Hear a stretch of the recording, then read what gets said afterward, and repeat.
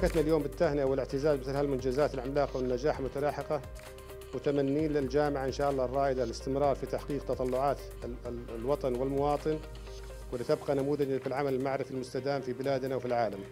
شكرا يا دكتور وبارك الله خطاكم والسلام عليكم ورحمة الله وبركاته. نحتفل هذا اليوم بمنجزات الكرسي وتعكس فاعلية الشراكة الحقيقية والتي تمثل نموذج جديد في عمل الكراسي.